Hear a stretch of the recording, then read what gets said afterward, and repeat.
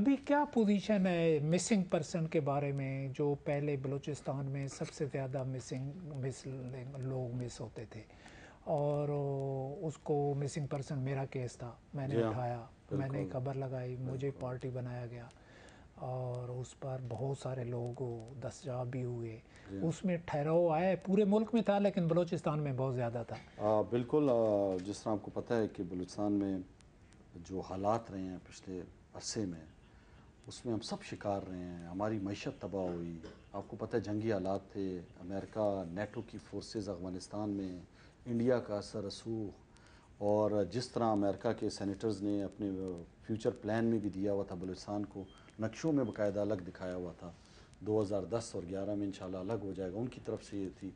تو ان حالات میں جو ہم نے وہاں پہ وقت گزارا ہے، بلوچستان کے لوگوں نے، آپ یقین کریں جو انہوں نے پاکستان کے لیے جو قربانیاں دی ہیں ہمارے دن میں ایک ایک دھماکے میں سو سو لوگ شہید ہوئے ہیں۔ شیعہ سنی کا فساد اٹھایا گیا وہاں پہ۔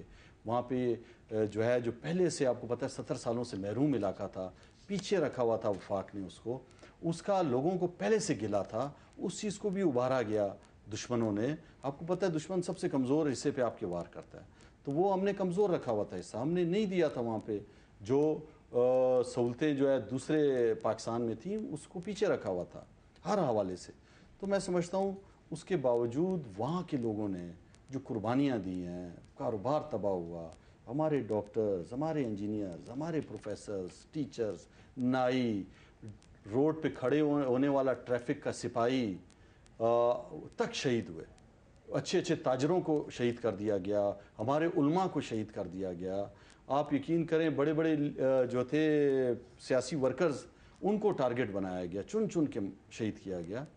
تو اس حوالے سے آپ دیکھیں ہمارے فورسز کو کتنا وہاں پہ نقصان ہوا اور ہمارے جو ہے وہ آرمی کے جوان بھی شہید ہوئے ہمارے ایف سی کے بھی۔ فرق ہے لیکن میں آپ کو ایک چیز بتا رہا ہوں کہ یہ ایک بہت بڑی چیز ہے کہ کم وسائل میں پاکستان کی فورسز نے بھی اور لوگوں نے قربانی دی اور وہ جو بڑے جو سپر پاور کا جو خواب تھا وہ پورا نہیں ہوا۔ وہاں پہ درمیان میں ایسا وقت بھی آیا کہ آپ ترانانی اسکولوں میں ترانانی ہوتا تھا صبح، پاکستان کا فلیگ نہیں لگا سکتے تھے آپ۔ جن شاپس کا نام پاکستان تھا، وہ انہوں نے خوف سے ان کو پرچی آ جاتی تھی کہ پاکستان کا نام چینج کرو۔ ان بیچاروں نے ہوٹلوں کے اپنے نام چینج کر دیے تھے۔ آہستہ آہستہ ہیٹنگ ہو گئی تھی آرمی سے۔ لیکن آپ دیکھیں دوبارہ ریوائول آیا، لوگ تنگ ہو گئے۔ وہ جو خواب دکھائے ہوئے تھے، آزادی کا خواب اور وہ وہ کچھ بھی نہیں تھا۔ آج لوگ پاکستان کا فخر کرتے ہیں، جھنڈا لہراتے ہوئے، ان کو وطن کی مٹی کی قدر آئی ہے کہ وطن کتنی بڑی چیز ہے۔